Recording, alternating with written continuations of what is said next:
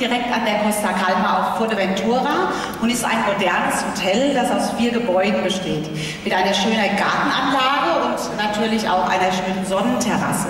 Das Entertainment-Team, das sorgt für ein abwechslungsreiches Unterhaltungsprogramm, wobei nicht nur die Kinder im Prima Kids Club auf ihre Kosten kommen, sondern auch auf die Erwachsenen. Da ist für jeden was dabei.